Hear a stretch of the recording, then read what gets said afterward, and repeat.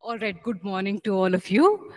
Uh, yeah, and also those of you who are online, uh, very good morning. Uh, so, sorry for the slight delay in you know in starting today's class.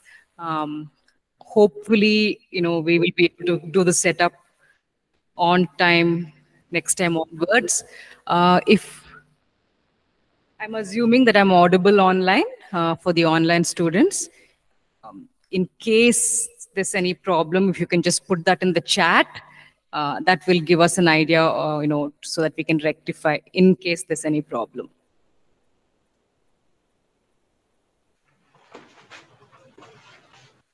Yeah, thanks for that.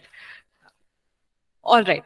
So um, we've not met before. You know, this is the very first class that I'm having with all of you here, uh, and uh, yeah, even the online uh, students. Uh, so uh, hopefully, as time goes by, uh, I'll get to know all of you personally. you know, and also hear your testimonies, hear your stories, get to know what the Lord is doing in all of your lives. so. Um, the topic that we are going to be covering now is uh, Old Testament survey. Um, usually, when we say uh, when we say a study of the Old Testament, it involves a lot of details, um, and it can become quite in depth. But what we are going to be doing in our particular course is keeping it very simple all we are doing is an Old Testament survey, as in we are just simply um, briefly looking at each, uh, you know, Old Testament book, and just to get a rough idea, a rough summary of what each of those Old Testament books are talking about. Uh, so that's basically what we would, uh, you know, um, cover uh, in our particular course. Uh, so um, as I, you know, have absolutely no idea of your background and your places you're from and all that, how many of you are, you know, comfortable with English? Uh, you can follow the general English which is, you know, spoken. Um, um, um, if you can, if I can just have a show of hands, um, uh, you know, those of you who are kind of comfortable with uh, spoken English and um, okay, so at least I would have, um, you know, okay, three-fourth of the class. We will see what can be done, you know, for those who are uh, not very comfortable with the uh, English language. We'll see what can be done later. Uh, but okay, for today, we will just have to adjust. I'm so sorry. Uh, next class, you know, we will see what can be done for all of us, all of our students. Um, yeah. So to get started off and uh, with a brief introduction regarding the course itself, what the requirements would be, um, we would have uh, a series of lectures every Monday. We would be having, you know, uh, talks uh, in our Old Testament uh, course. And then halfway through, when we reach the midterm, uh, you know, timing, we would have a assessment. So in the Google Classroom, uh, you know, there would be a multiple choice questions posted. There would be around 50 questions posted. And you would have probably about one week to answer them. Uh, so we would have a midterm assessment, which would be out of 50. And then again, at the end, um, there would be uh, the final assessment, which is also a multiple choice uh, question uh, set. So that's basically what you would have to, uh, you know, succeed at, uh, you know, to to pass this particular course. So even for the online students, you know, both the both of us, uh, those of us who are here on campus, and also our online uh, students, we would all have the same uh, uh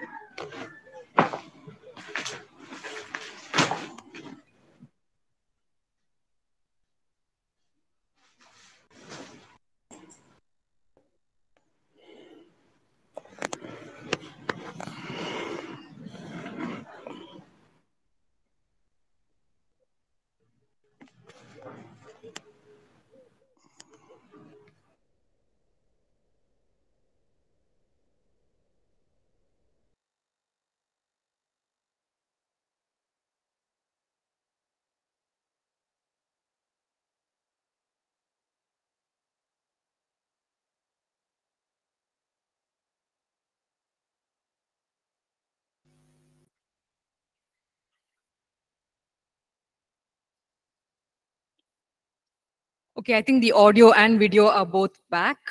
Uh, so yeah, we are functional. Um, as just saying that if you have any questions online, if you could please put that in the chat. Uh, you know, I'll try to keep an eye on the chat. Uh, so that I can answer any questions which are posted over there.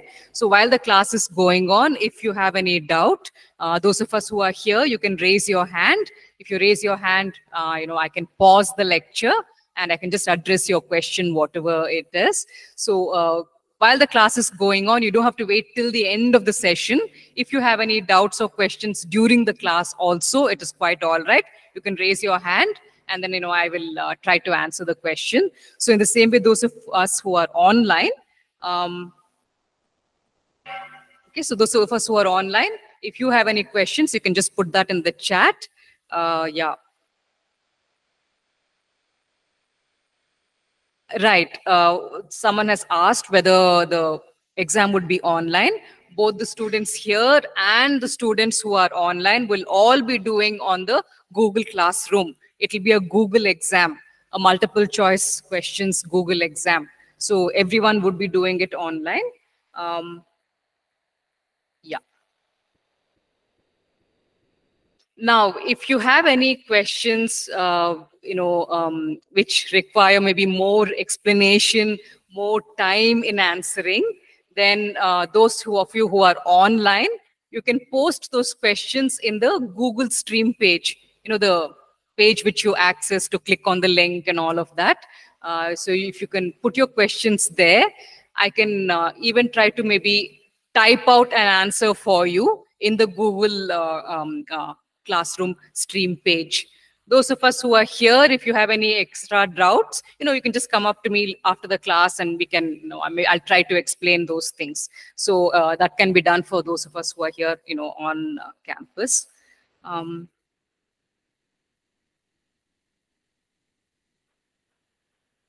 yeah, those who are unable to um, log in, that issue will be taken care of. Uh, you know, so I'm assuming that next time onwards, you know, we will not have any problems. Next Monday, when we have our class, everything will go smoothly.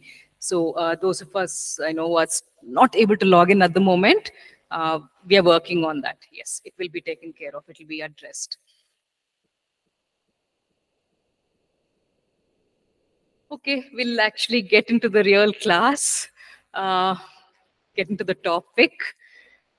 So we are going to be looking at the Old Testament. We will look very, very briefly at each book of the Old Testament. Try to um, understand what is the main theme that was there, what are the main topics that were talked about, uh, who are the main characters, what was God trying to communicate when he wrote the stories of those particular characters in the, you know, in each of those Old Testament books. These are all the uh, basic overview that we are going to be doing. Okay, so during this uh, course. So the Old Testament, as we know, uh, was written in the Hebrew language. The first five books, it's generally believed, it's uh, were written by uh, Moses. And Moses would have written in the Hebrew language. So the original Bible, when it was when when uh, God inspired Moses to start writing, he would have written the Old Testament in his language. He would have written it in the Hebrew language. So later, this Hebrew Bible, this Hebrew Old Testament was translated into various other languages, but originally the it was the Hebrew language in which we find the entire Old Testament written because that was the mother tongue of those people. That was the language in which they used to uh, speak. Now, there are four small portions in the Old Testament which are not written in the Hebrew language. They are written in a slightly different language, Aramaic. Okay, so Aramaic is very, very similar to Hebrew, but there are some slight differences. And after the Israelites came back from you know the exile, um, Aramaic became more common. That language replaced Hebrew to some extent. So at that time, people began to speak more in Aramaic, And in our Old Testament, there are four passages which we see, which are not in the Hebrew language, which are actually written in the Aramaic language, which would be understood only by the Israelite people. This Aramaic language would also be understood by all the other nations, you know, um, with whom the Israelites were now living. This is after the exile, uh, much later. So Aramaic began to gain popularity. And uh, it's interesting to see why God would have asked the writers, you know, the Bible writers, to use a different language for these particular four portions. What is the significance? The entire Old Testament is written in Hebrew, except for these four portions where God seems to have, you know, asked these writers to write it in a different language. What was the significance of that? Maybe we could just briefly, you know, look at that um, issue.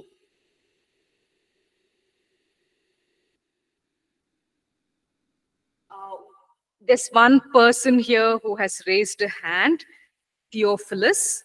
Um, is if you have a question, maybe you could unmute and you know go ahead and ask your question. If not, we will just continue the class. Uh, maybe you know by mistake you have clicked on that. Okay. So what are these four portions of the Old Testament that are written in a different language. That's just very, uh, you know, if you're if you're taking down notes, you could just write down Genesis 31 verse 47. It's just a name, the name of a place. It's not very important, not very significant. Uh, the name of that place is written in the Aramaic script and not in the Hebrew uh, script. Okay, so that's Genesis 31 47. But then the other three are kind of um, significant. Ezra 4, um, 18. From Ezra 4, 18 up to chapter 6, verse 18. That entire passage is written in the Aramaic language. And it actually talks about uh, a, a letter, an order that was sent by King uh, by one of the Persian kings asking the people to stop the temple construction work. Okay, so in Ezra chapter 4, the king sends a letter saying you have to stop this temple construction work, and that's written in the Aramaic language. And it goes on from there up to chapter 6, verse 18. That entire section is written in the Aramaic language, and it talks about the political interactions which were happening at that time. There were people who were opposing the Israelites and stopping them from building. All those things are, all those details are mentioned. It's like as if, you know, um, because other nations are being involved in this particular process, you know, that was going on at that time, God asked this entire section to be recorded in a different language, a language which would be understood by even other people. So Ezra chapter 4, 18 up to 618. That entire portion is in the Aramaic language. The next thing we see is Daniel chapter 2, verse 4, up to chapter 7, verse 28. Daniel 2, 4, up to Daniel 7, 28. That again is in the Aramaic language. Now that portion is actually talking about the uh, the the dreams which Nebuchadnezzar had, and then Daniel gives an interpretation for all of those dreams. So that section also is written in the Aramaic language. It's like as if God wanted even the other nations to read that portion and understand what God had revealed through dreams to Nebuchadnezzar about the things which would take place. And also some of the visions were given to Daniel directly. Uh, we see that in uh, chapter uh, 6, chapter 7. So God wanted everyone to be aware of what was of what was said in those dreams and what is the meaning of those dreams you know regarding the end times and things like that. Those are the things which were mentioned in those dreams. So that portion also is written out in the aramaic language. And then finally there's one verse one single verse which is uh, in the book of jeremiah. The entire book of jeremiah is written in the Hebrew language, except for this one single verse. And that is actually Jeremiah chapter 10, verse 11. Now, you know, if we could have uh, maybe somebody read out that particular verse, Jeremiah chapter 10, verse 11. Just for us to understand, maybe we can start off with uh, from verse 10 itself. Jeremiah 10 10 up to Jeremiah 10 12. Jeremiah 10 10 up to Jeremiah 10 12.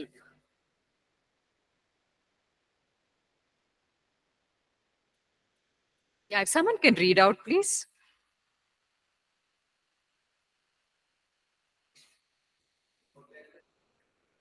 Jeremiah 10 10 up to 10 12.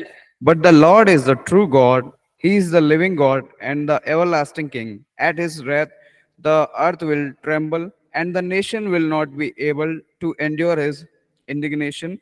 Thus you shall say to them, This God that have not made the heavens and the earth shall perish from the earth and from under these heavens. He has made the earth by his power, he has established the world by his wisdom, and he stretched out the heavens at his direction. This Yes. description. So over here we see it's talking about how there is only one single living God and that all the other gods they are not even important they don't even count so it says over here you know these gods who did not make uh, the heavens and the earth will perish from the earth and from under the heavens. That particular line is written in the aramaic language so that not only the hebrew people who can understand hebrew will read it but even the other nations will read that one single verse and recognize the fact that there is only one living god one creator god you know who has actually made the heavens and the earth and only he will be eternal it says in that in that verse all the other gods who call themselves gods they would all perish from under the heavens it says uh, so these four portions or at least the three portions that we talked about God chose to put those particular portions in a different language because he wanted everyone, even the surrounding nations, to understand what is written. So maybe later on, when you have time, you could just maybe look at those particular portions, you know, just read through it and think in your mind what if a non Jewish person, what if a non Israelite person was reading that particular passage? what would they think in their mind? What would be their reaction? What would be their response? Because God wanted that pers- portion, uh, you know, um, recorded in a different language because He wanted to convey that. He wanted to impress that upon those particular people. So maybe you could actually go through those three passages later, you know, when you have time. Um, so that's just regarding the language of the Old Testament coming to how the Old Testament books were arranged. Now, today, when we open our Bible and we look at our Old Testament, we see the Old Testament books arranged in a particular way. We start off with Genesis, uh, you know, um, then you, later on uh, you have the historical books coming in. Then you have some of the poetic books which are mentioned, and finally you have the prophetic books. That's the way our, um, you know, English uh, Old Testament is arranged. That's the way the books are arranged in the English Old Testament. But in the original Hebrew Bible, you know, which was written in the Hebrew language, at that time those books were arranged in a different way. And it's good for us to just, um, you know, know about this. Uh, so what we are doing right now is just an introduction to the Old Testament. So we'll just look at some basic things that we need to know about the Old Testament. And then uh, maybe after the break, we can start with the book of Genesis. So regarding the arrangement of these uh, books, um, so they had uh, they divided their Old Testament. The original Hebrew Old Testament was divided into three main sections. The first section was called the Torah. The word Torah basically means instruction. So the first portion, the Torah, um, consisted of the first five books. That would be your Genesis, Exodus, Leviticus, Numbers, Deuteronomy. So that first section is called the Torah. And it, the word Torah means instruction. God gave the Israelite people many important instructions in those first five books. Because God said, I am going to come down and I'm going to make these people my people and I'm going to live among them and they should know who I am. They should know what I have done so far on this earth, and they should know how they should conduct and behave in my presence. And so God presents these five books uh, to the Israelites like an introduction. So, in these first five books, the Israelites began to learn who God is, how He is eternal, how He is the one who made everything which exists. So, they began to understand who He is. And it also talks about what He did for these people of Israel, how they were slaves, you know, and then God delivers them. He personally gets involved in their problems. He's the one who sends those, uh, you know, uh, plagues upon Egypt to help them, you know, to deliver them. What all the things that God did for them are recorded in these first five books.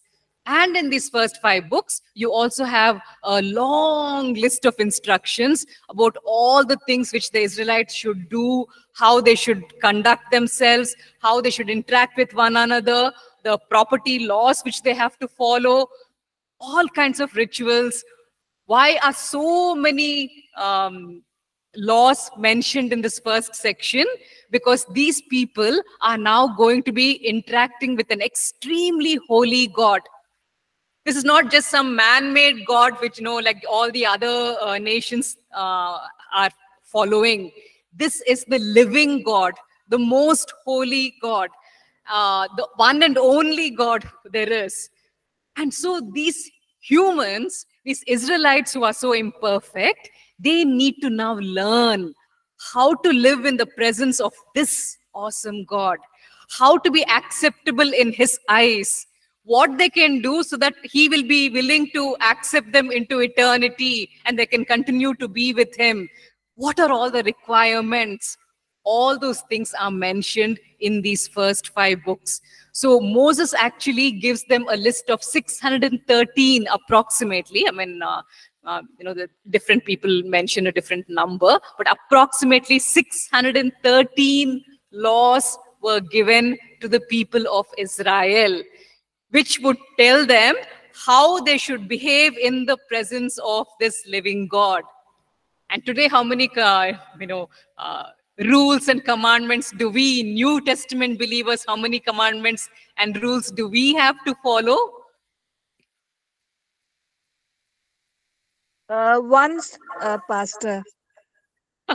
yeah, uh, if you're uh, summarizing both as saying, you know, the lo loving the Lord and loving your neighbor as one single uh, thing, yes, it would be one. If you're dividing them into two, uh, you know, so the first would be love the Lord with all your heart, and then love your neighbor as you love yourself. Uh, so we see that um, um, we do not follow the 613 laws which were given to the people of Israel. Now, they why were they given that many rules? Because up to that time, they had been living just like all the other nations. They were doing whatever they wanted to do. They were not following the Lord. See, when God first came to Abraham and said, Will you follow me? Will you obey me?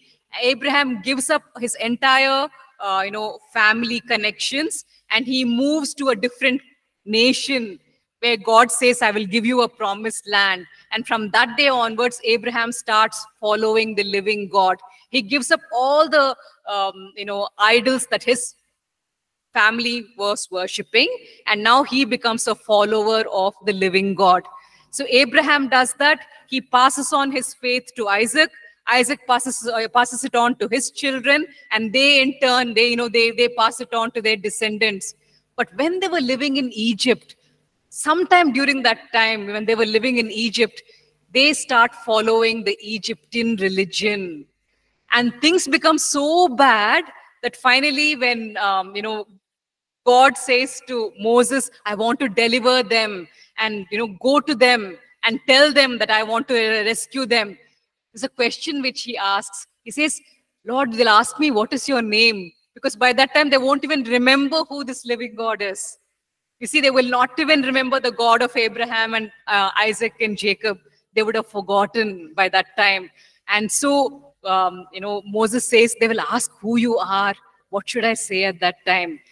So, these Israelites were given the 613 laws so that they will learn how to behave in the presence of a holy God so that they will stay separate from the other nations and not be like the other nations. Uh, so uh, that is why it took five uh, Old Testament books to get this nation of Israel started off. That is where the foundation was laid. That is where all the instructions were given. And that is where some kind of relationship was built between God and this group of people, the Israelites. All right. Um,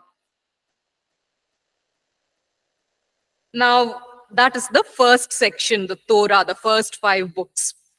The second section in the Hebrew Bible, in the original Hebrew Bible, the second section um, that you know they had in their Hebrew Bible, that was all the prophetic books. So you know we generally in our English Bible we place all the prophetic books last, but in their division of the books, for them it's the second section. The prophetic books are placed second, and uh, um, there's a Hebrew term for that. They call it the Nevi'im. Okay, that's the term which they use. And then the third grouping, that is called the writings. Basically, it's the historical writings, the poetical writings, different kinds of writings. Uh, that would be the third section. The Hebrew word for that is ketuvim. So, a Hebrew person when they would talk of their Bible, uh, their Old Testament, they would basically talk about the Torah, the Nevi'im, which is the prophets, and the Ketuvim, which is the writings. These were the three main sections. And um, um, just something that maybe we can look at regarding the writings, the third section. In the third section of their Old Testament, um, they basically first had um, these um, these three books psalms proverbs and job okay and then in the in the in the ending of the third section they had the historical books which is basically daniel and then next you have ezra and nehemiah and last you have chronicles so they were at the very end of the old testament in the hebrew bible the last book is not malachi it is basically chronicles so this this third portion the writings, it starts off with um, uh, Psalms and um, uh, Proverbs and Job. It ends with Daniel, Ezra and Nehemiah, which were, you know, one single book. And you have um, uh, the Chronicles, which is another one single book. In between, they had something which they called the Megillot. That basically means five scrolls. In our, in our modern day, we would say five books. And they gave a lot of importance to these five books. They would read out these five books during their festivals. So each of these five books was read out during five important festivals. All the people who have come to celebrate the festival at the temple, they would stand over there, and then you would have one of the spiritual leaders, you know, um, uh, standing over there in the front, and he would read out from the scrolls. So these five scrolls were given importance. And it, there was a very, um, there was a reason why they read out these particular five scrolls during those particular five festivals. So this is just something interesting that, you know, we can um, um, get to know about.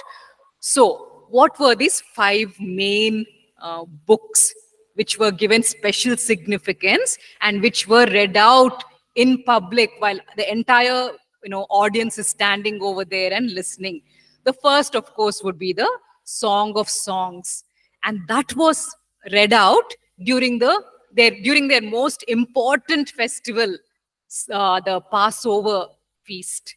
So during the passover feast during the days of the passover feast every day you would have the leader standing over there. He would open up the scroll of song of songs and he would read it out section by section you know during that entire feast during all of those feast days.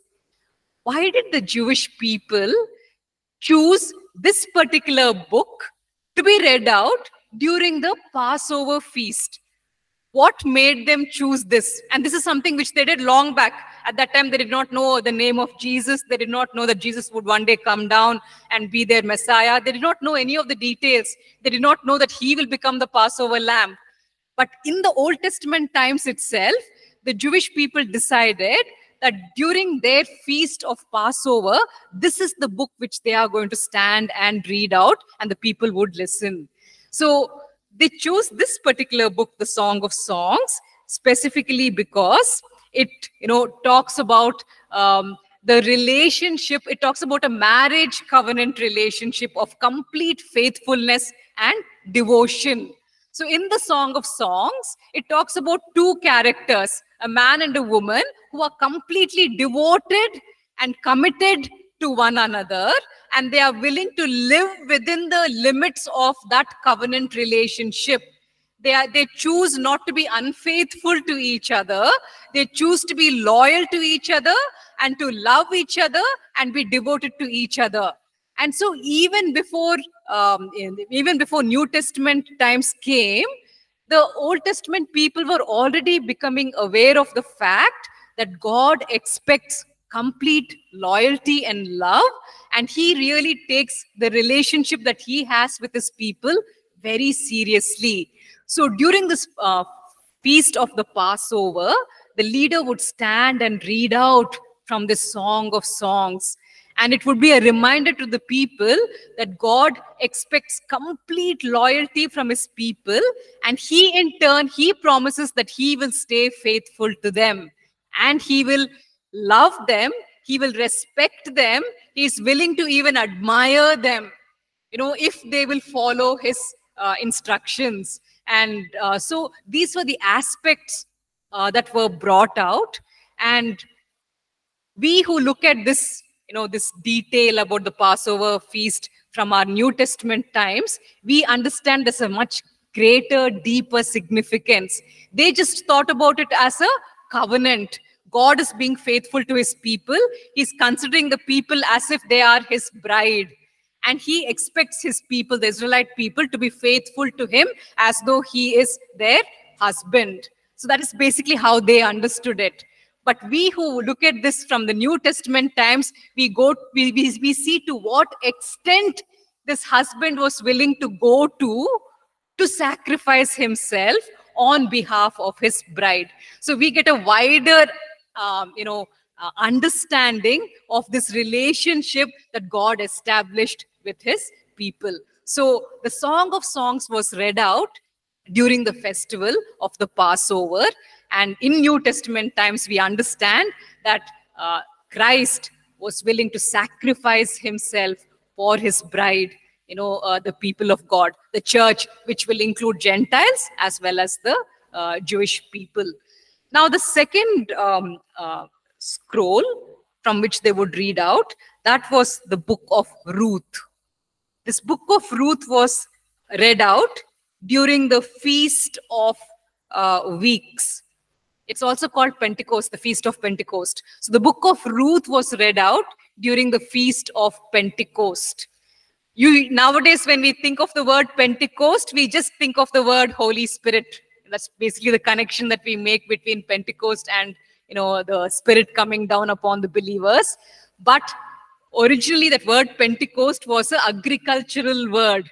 That is basically when you know you would be collecting your harvest. The the crops would have become ripe and so you're gathering the harvest. And so pentecost actually has to do with that. And this book of ruth it talks about a bunch of events which took place during that time, during the time of Pentecost. So the reason that they would read out the book of Ruth during the feast of Pentecost is because there's a connection between the two. The same way the events which took place in Ruth's life happened during the Pentecost time, you know, during the harvest time, when she would go to the field and she would gather all the, uh, you know, the grain which has fallen on the ground. Uh, so uh, so this uh, book of Ruth was read out for that reason during the Pentecost feast. The third one, this was the book of Lamentations. The book of Lamentations was read out on a very significant day, the day of atonement. On that day of atonement, you know, um, uh, the leader would stand in front of the Jewish people and he would read out from um, the book of Lamentations. Why did they choose to read out this particular book? Why not something else? It is because the book of Lamentations reminded them of how they had been unfaithful to the Lord until finally God had to punish them. He had to send them, uh, you know, into exile because Lam- the book of Lamentations it talks about the fall of Jerusalem, how Jerusalem, uh, you know, was captured by the Babylonians, and the people were taken as captives, as slaves. They were taken away to uh, to, to, to Babylon. Uh, so this book of Lamentations talks about the sin of the people, the need for repentance, and then they read this out on the Day of Atonement because the Day of Atonement is a day of hope. That is the day when God is willing to forgive the people. You know, that is the day when the high priest would go inside the Holy of Holies, you know, and he would sprinkle the blood on the altar. And uh, so it was also a day of hope when they can when the people can go to the lord and say yes lord we have sinned. Yes lord you have punished us because of our sins but still there is hope because you have chosen to make atonement. And so uh, this book of lamentations was read out on the day of atonement to remind the people that uh, you know look you must repent of the sinfulness in which you have been indulging. And if you repent there is mercy there is atonement. God will be willing to forgive. And of course we, we who are in the new testament we have a wider picture of this atonement because we know that it's not just the sheep and the lambs which can you know uh, wash away our sins. It's actually jesus christ who washed washes away our sins. So these lambs and sheep are only pointing forward towards jesus so uh, the book of lamentations was read out on the day of atonement. Yeah someone here asked for the spelling of the neviim and the ketuvim. Um, the spelling for the neviim is n-e-v-i okay um, okay n-e-v-i-i-m you would have an apostrophe you know n-e-v-i apostrophe and then i-m because it's basically like two phrases neviim. Uh, ketuvim is k-e-t-u you can put uh, apostrophe over there and then you have v-i-m so neviim and the ketuvim uh, that would be. So uh, we talked about three of the scrolls which were read out on feast days. The fourth book which they read out was Ecclesiastes. Ecclesiastes was read out uh, during the Feast of Tabernacles. Now, you know, if you uh, look at the first five books, you get to know that uh, the Feast of Tabernacles is basically when all the Israelites would gather, um, they would build small tents and they would stay in the tents for the days of the festival as a reminder of how once upon a time they didn't even have a land of their own. They were living in tents, but God finally gave them their own land where they could build permanent buildings and live in their own, you know, homes. So as a reminder of what God has done for them, they would celebrate this feast of tabernacles when they would make many, many tents, small, small tabernacle. The word tabernacle basically means tent. So they would make many, many tents and they would stay in those tents during the days of the festival as a reminder to them of what God has done for them by delivering them out of Egypt, bringing them into the promised land, and giving them that entire land for themselves. So, uh, why was Ecclesiastes read out during this very joyful feast of tabernacles? Because the book of Ecclesiastes talks about it talks about you know in in three or four places in Ecclesiastes it says life has no meaning under the sun. If you if you remove God from the equation, life is meaningless. So all you can do is trust God and eat and drink and be merry and enjoy. You know, those are the wordings which are used in the book of Ecclesiastes. But at the end of Ecclesiastes, it says, remember this also. You must enjoy, you must eat and drink, but one day you will be held accountable for all that you are doing. So keep this in mind and enjoy your life.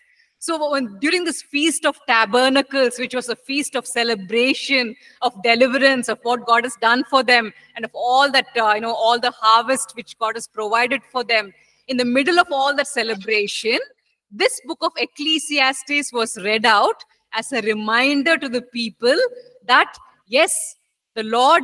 Uh, can make your life meaningful and you can eat and drink and enjoy but do it all with the awareness that one day you will be held accountable for all of your actions so that is the fourth book which was read out and it was read out during the feast of tabernacles which finally brings us to the last scroll which was read out and that was the book of esther and the book of Esther was read out during the feast of Purim.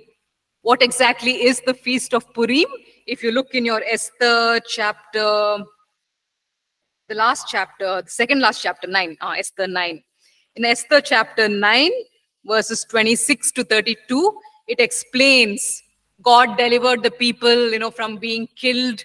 Uh, so, uh, in gratitude for what God had done, they decided that from now onwards, we will celebrate the festival of Purim, how God delivered us. And we, this will always be a reminder to us that we were living in a foreign land, away from our people. And even in that foreign land, God took care of us. He protected us and He provided for us. So, this feast of Purim would be a reminder of God's faithfulness, even when they were living somewhere else, you know, in, in, a, in, a, in a foreign land even in that heathen nation, God was there watching over his people, you know, protecting them and keeping them. Uh, so the book of Esther was read out to remind them of the story of how God delivered them. You know, so um,